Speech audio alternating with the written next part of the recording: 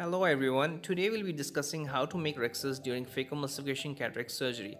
This is one of the most important steps of surgery. You can First you need to fix the globe. You can either use a rhexis forceps through the main wound or you can use a cystitome made up of 26 gauge needle through the side port. What I usually prefer is a cystitome. I enter through the side port because it gives good anterior chamber stability. Once you have entered, make a nick or a scratch on the anterior capsule and lift up the flap. Once you have lifted up the flap, drag the flap in anti-clockwise direction.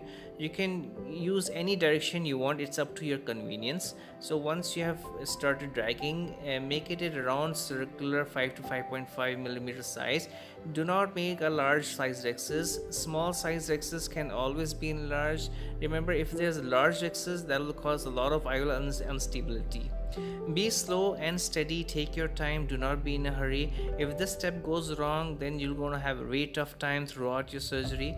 The force should always be forwards and inward direction.